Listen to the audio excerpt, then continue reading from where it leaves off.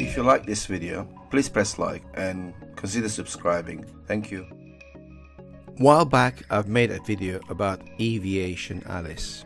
However, the video in question was removed due to compliance with YouTube's recent policy change of what is considered or allowed on YouTube.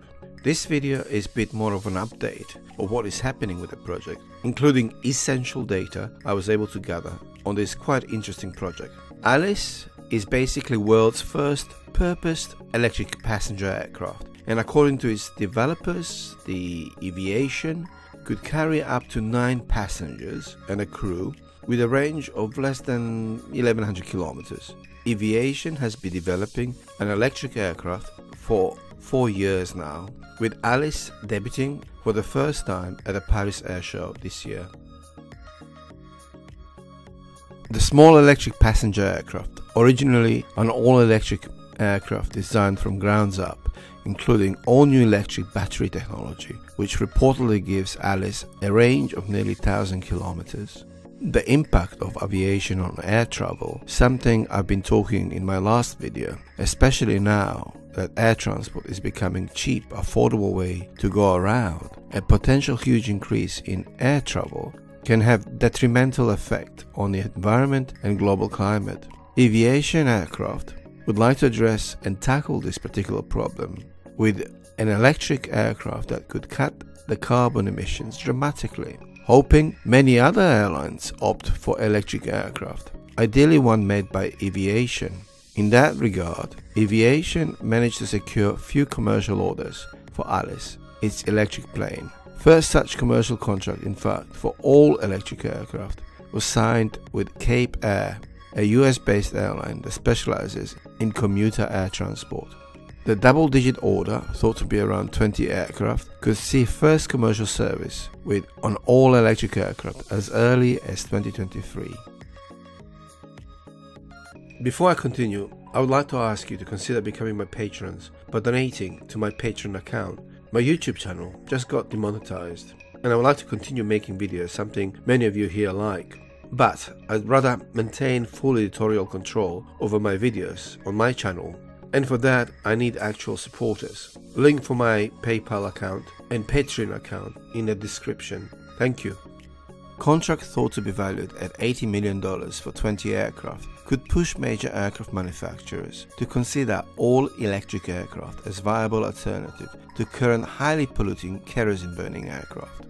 Boeing and Airbus have been strong on maintaining current status quo with minor changes to current lineup aircraft that offer no significant reduction in fuel consumption or tackling the dangers of climate change. Airbus has been working on an idea of hybrid aircraft that could take to the air in late 2030s, replacing current A320 family in 2040s, with expected range of 7 to 8,000 kilometers and capable of carrying 100-120 passengers. The next generation of Airbus aircraft are several decades away. Boeing has no plans for hybrid or electric aircraft for foreseeable future.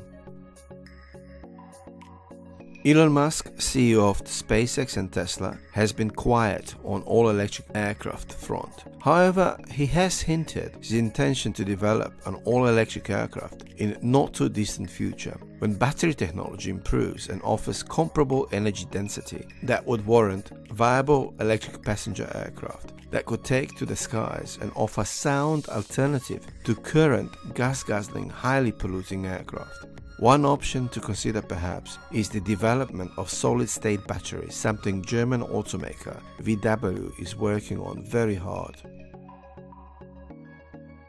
So what is a solid-state battery you might wonder?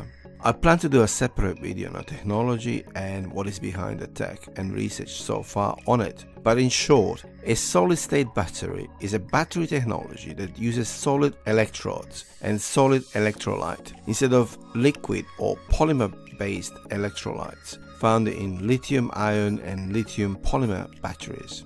In 2019, Tesla acquired solid state battery and ultracapacitor maker Maxwell. The company claimed to offer energy density of over 300 watts a kilogram in demonstration cells. The cells retained nearly 90% capacity retention after nearly 1500 cycles. Musk said 400 watts a kilogram would make an electric aircraft viable. So we're near there almost, and there is a good chance Tesla is already working on an electric aircraft as we speak.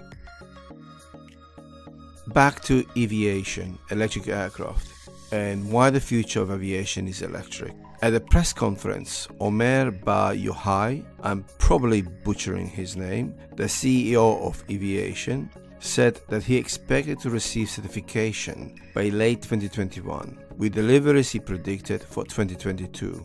The aircraft is not some future maybe, it's there, ready and waiting, he said. Bar-Yohay also said that contributions from Honeywell, who built the plane's controls, as well as Siemens and Magnix, who provide the electric motor and related functions. Bar-Yohay said that plane would now travel to Arizona in United States, where it will be flight tested before being put forward for certification with US FAA, Federal Aviation Administration.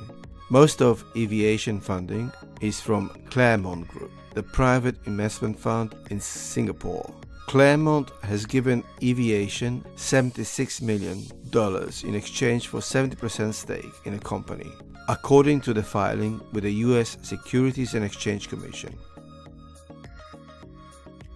I would like to take the opportunity to express my gratitude to all of you, my subscribers, but in particular to Dawn of Spaceship a fellow subscriber and highly talented and kind supporter of my channel.